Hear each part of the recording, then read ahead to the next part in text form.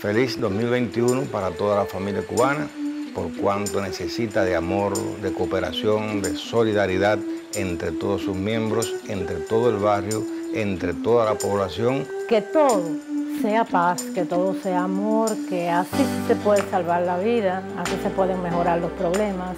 Un año muy feliz, un año próspero y sobre todo tener esperanzas y saber enfrentar los retos que tenemos por delante. Y yo quiero para este año que la familia aprenda a disfrutar de la familia a través del amor precisamente, que aprendan a disfrutar los padres de los hijos y los hijos de los padres. Muchas felicidades en este año 2021. Feliz 2021.